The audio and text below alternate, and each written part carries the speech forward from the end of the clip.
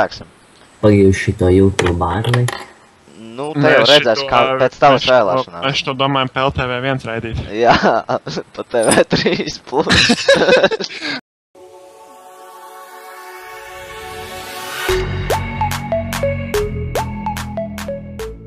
Ziet, nesi. Mūsu veicināt mūsu jaunajā sarunšovā. Jā, Un, un tā, tie vadītāji ir es, Nesīda Loaded, un vēl mums te ir Igors pievienojies. Nu, tu masaks. jā, Nu, tas esmu es. Eh, Šīs dienas intervijas šitais viesis ir, ka- kas tu esi? Ew! Nu, Nu, nevar citēt, vēl vienais pasaka. Rotkīv. Rotki vējam. Kā tev? Kā tev īstajā dzīvē dēvē? Dievs. Vai te tas ir tik svarīgi? Nu, re, Nu, labi, rakstīts viņš roleplay. Andrzej- Andrzejs, Volo, kā, kāds viņš vispār? Nu, labi. Labi, Nu, kroči, pirmais jautājums, savām- kāpēc tu aizgāji no liet pie lietuviešiem no baikeriem? Jo jūsu frakcijā nekas nenotiek. Mēs tev uzrakstīju, tu visu, nu labi, labi, nu, es uzdevu tālāk, man, man pagaidām pietiks. Un pastāsti, kā sākās tavs izcilās RP gaitas.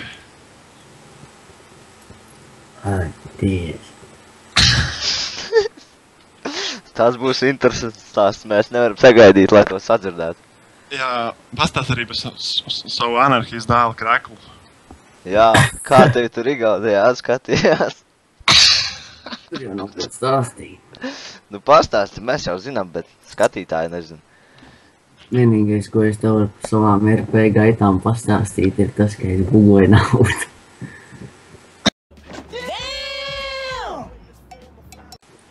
Labāk pastāsti par šo te tagadējo serveru, to populāro. Kā viņi tur sauc? Igor, kā sauc? Spēlē grūti. Es tā pa huīņu, Igor. Kas? Igor, Igors prosta pazuda. nu pagaidi, esi, davai vādies, pagaidām nevaru. Pagaid, pagaidām intervija man liekas ļoti izcila. Ragnar, ko tu domā par šī brīža situāciju? Pilnīgi. Nu, es nezinu, ko var domāt. Es pats esmu palīdzējis, tad pašam patīkājās brāli. Nē, tev vajadzētu teikt dzeršu eiro. Tagad es sīku. Davai, pārņemam, pārņemam kadru, viss, davai, par jaunu. Nesi uzdot jautājumu, šo mēs izgriezīsim. Labi, pīzdoma. Jā, Mums vajag Ragnaru filmēt. Ka, ka, ka, es vispār tikko atnāku, Nē, tu uz man- vietas kaut ko es neko nesaprotu. nē, nu, moments, bet reāli moments tāds bija. Reāli brauc fucking šoferis autobusā, bet man tāds noskatījums. Mammas, bļaļ!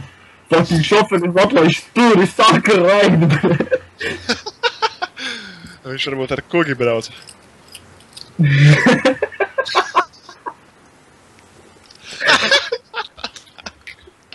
Kāds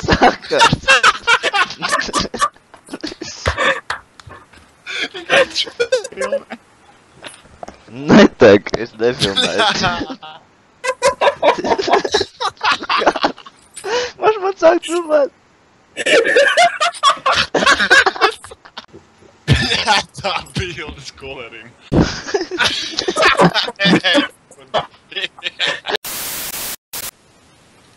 Labi, es maz uzspēlēšu Hunter of Smite. Tā labi. Jā, tā ir